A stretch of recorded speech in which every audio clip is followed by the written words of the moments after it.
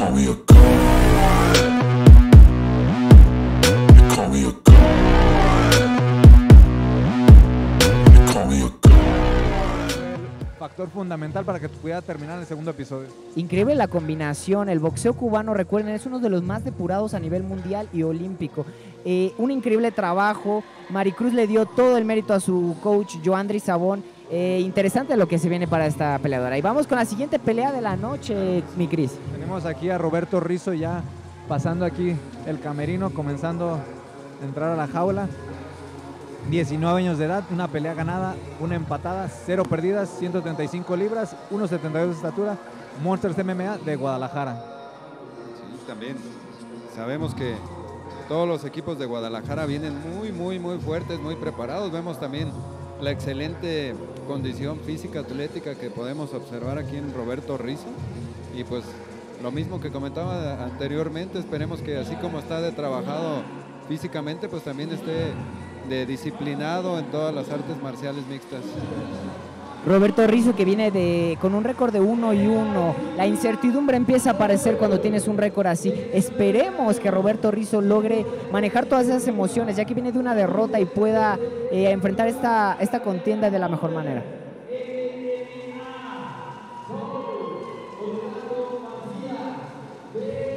Vamos que Roberto Rizzo se encuentra en excelente forma física, muy trabajado y como hemos tenido ya compañeros aquí en su mismo gimnasio, le, le respalda bastante bien la lucha, así que pues vamos a ver si puede hacer uso del físico y de la lucha. Vamos con la presentación de Sebastián Esquivel. Sebastián Esquivel, de 23 años de edad, hay compañero de Monster Team del profesor Edgar Pérez Luna, aquí en Morelia, Michoacán. Sí, a ver qué, qué recibimiento le da aquí el público ya que es local y pues hay muchas expectativas aquí el equipo Monster Team que ha dado muchos peleadores para nuestra liga y, también sabemos que ya están a nivel nacional e internacional ya saliendo a pelear. Sebastián, un muchacho disciplinado, un muchacho humilde, un muchacho trabajador, 23 años, haciendo su debut profesional. Eh, algo de destacar de Sebastián es que es una persona que le encanta aprender. Siempre en los entrenamientos, sea jiu-jitsu, sea striking, sea grappling, sea situaciones específicas, él presta muchísima atención. Es alguien que se enfoca mucho en los detalles y está emocionadísimo por este debut. Sí, claro, nosotros eh, eh, lo teníamos eh, ya visto, realizamos en la liga un torneo selectivo. Precisamente él fue uno de los ganadores. Sabemos que ya tiene una, una, buena carrera, un buen desempeño en artes marciales mixtas. Sin embargo, entró a nuestro torneo selectivo y pues ahí fue el ganador. Entonces, pues se le está dando la oportunidad eh, en nuestro torneo selectivo para esto, para que se presente ya en un octágono de una manera más semiprofesional. Y aquí hay el saludo de profesionalismo, cortesía de Sebastián Esquivel, listo para comenzar el primer asalto de su debut, eh, bueno, preliminar.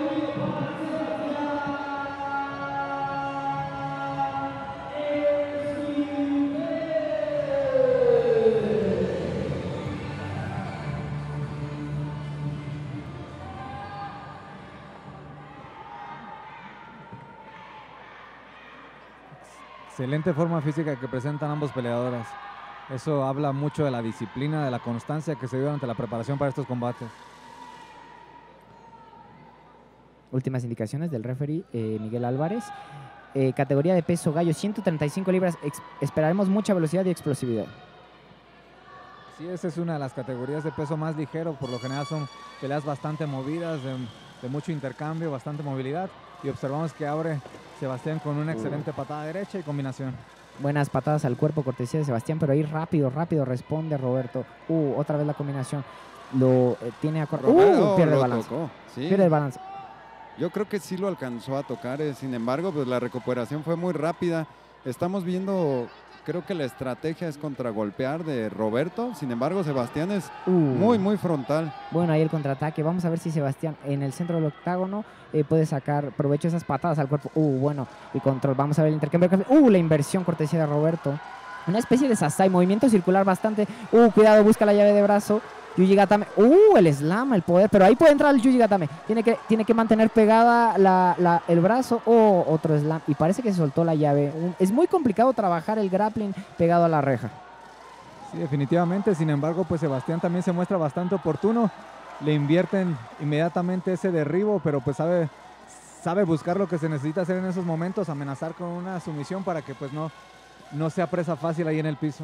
Sí, claro, si nos pueden comentar y de igual manera, ¿qué, tipo de posición, ustedes que son más expertos en esto, qué tipo de posición es la que está teniendo Roberto sobre Sebastián? Aquí Roberto está adentro de la guardia de Sebastián. Es una posición dominante, entre comillas, ya que las piernas de Sebastián pueden, puede utilizarlas para desbalancear, pero la posición de, de la guardia es un, es un arma de doble filo porque puede ser castigado desde arriba, como lo está haciendo en este momento Roberto. Así es, sin embargo, pues vemos que Sebastián aún tiene posibilidad de buscar la sumisión Bueno, debido a que pues no ha pasado la guardia como tal, menciona, está en su guardia. Ambos peleadores de vuelta de pie. Se reincorporan, vamos a ver si aquí Sebastián... Uh, bueno, la, Bien. la izquierda ahí de Roberto, vamos a ver si se suelta un poquito más Sebastián. Las patadas al cuerpo están siendo... Uh, patada baja, pero se lleva un tremendo derechazo. Ya probaron un poco los dos, ya saben lo que traen. Ya, Ya están midiendo ya se ven un poco más de la respeto, distancia, sí, sí, sí, la distancia ya la están marcando sí. un poco más, con un poco de yapeo, sin embargo, creo que Roberto está tratando de contragolpear, ya que Sebastián lo sigue observando muy, muy frontal. Uh, buena la derecha ahí de Roberto. Primero fue al cuerpo y luego a la cabeza. Otra, ahora a la izquierda, doble. Y ahora lo tiene contra la reja. Vamos a ver, Sebastián aquí tiene que salir de esta posición. Pasando el brazo por arriba, la presión. Y ahí está el body lock. Cerrado. Vamos a ver si intenta una especie de gancho. Excelente, excelente, excelente. El peleador de Guadalajara vemos que está buscando la presión contra la reja, busca intentarlo llevar al piso, desgastar. Sin embargo, pues Sebastián está haciendo lo propio, no, no dejando que tome contro- control completo Roberto Rizzo. 20 segundos. Ahí parece que Sebastián mete el Wizard Grip. Tratando de liberar esa presión que tiene sobre la jaula. 10 segundos en este primer round. Y ya suena el aviso de las Y no, lo va a de- defender, sí. va a defender, Sí. va a defender el derribo. Creo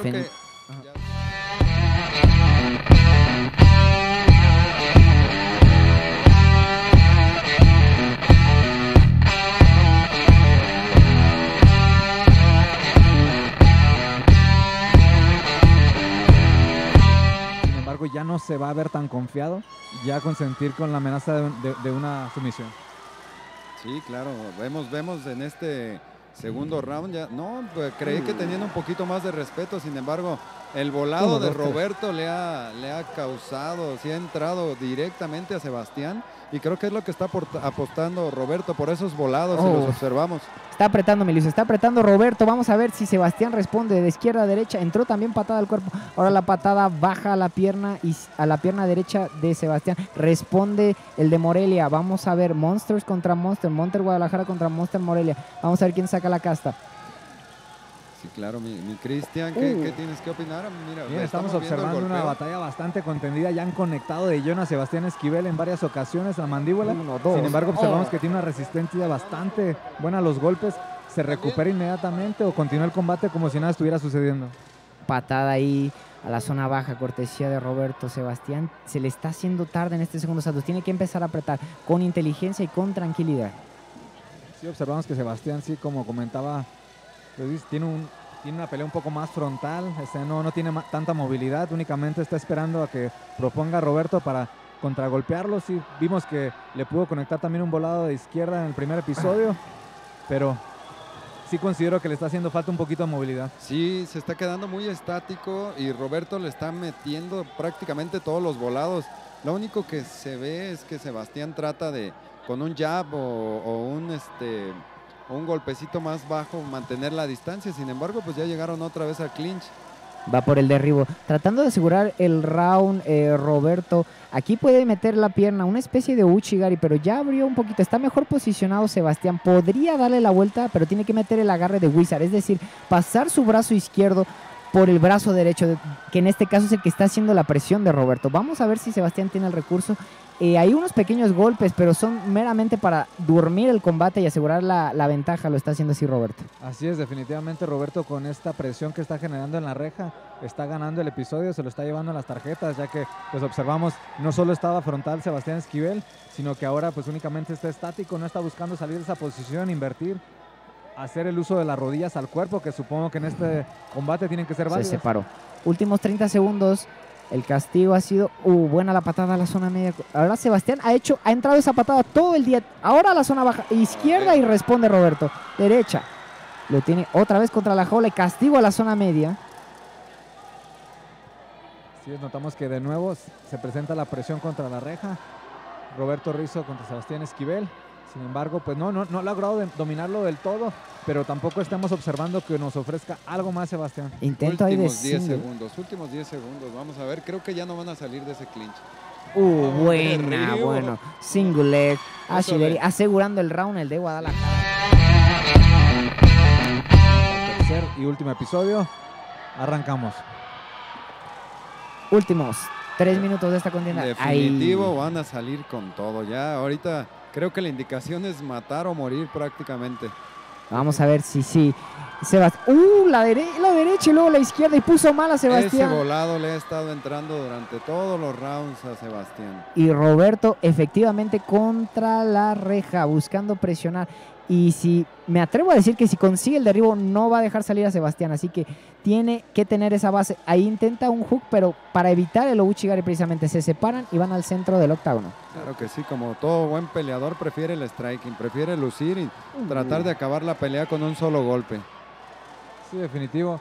En este episodio pues ya notamos que Sebastián Derecha, sale un izquierda. poco más cansado. Si pudiéramos darle el reconocimiento de que qué mandíbula nos mostró, aguantó muchísimos golpes de lleno a la mandíbula y no vimos que temblara, no vimos que se fuera al piso, pero definitivo nos se quedó un poco corto y continúa la estrategia desde el principio de. Roberto Rizzo. Ahí fue una bonita combinación de derribos. Comenzó con un Ouchigari y luego buscó controlar la pierna libre, un Uchi Takoshi, pero cuidado aquí.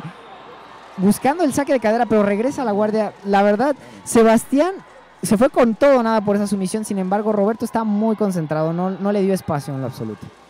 Sí, definitivo. Roberto ya no quiere caer en ese error, no quiere caer en la amenaza de que después de que ha hecho tan Y buena pelea lo sometan con una barra de brazo y lo finalicen. Creo que se va a quedar ahí algo de tiempo presionando, sacando los mejores golpes y posiblemente transicionar a una mejor posición. Un minuto 30, el gran gran poderoso, cortesía del de Guadalajara. Buscando ahí con poder finalizar la pelea. Sebastián tiene que en primera cubrirse y tener, uh, cuidado, izquierda, derecha, se come otra más. Cerrar, exacto, cerrar la guardia y mantenerlo bien pegado. Ahora puede buscar una inversión, pero tiene que atrapar un brazo.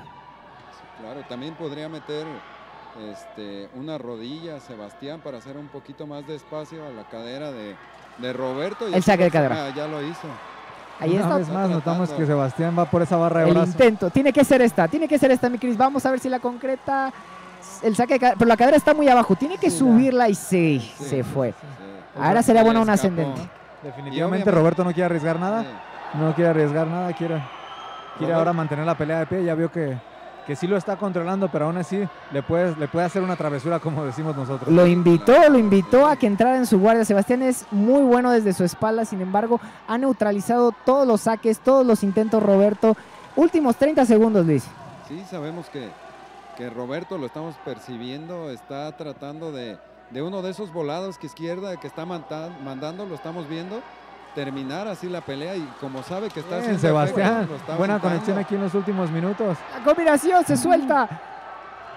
Vamos a ver si vamos, responde. vamos, que cierre de pelea, vamos se a va, ver. se va. se- Tira a la izquierda, pero no la alcanza.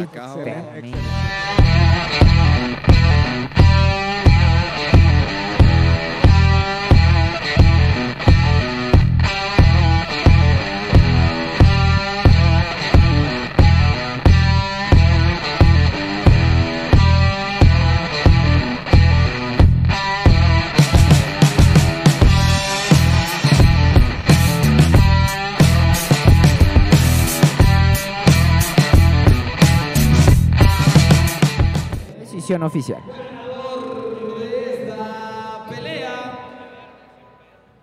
la esquina azul.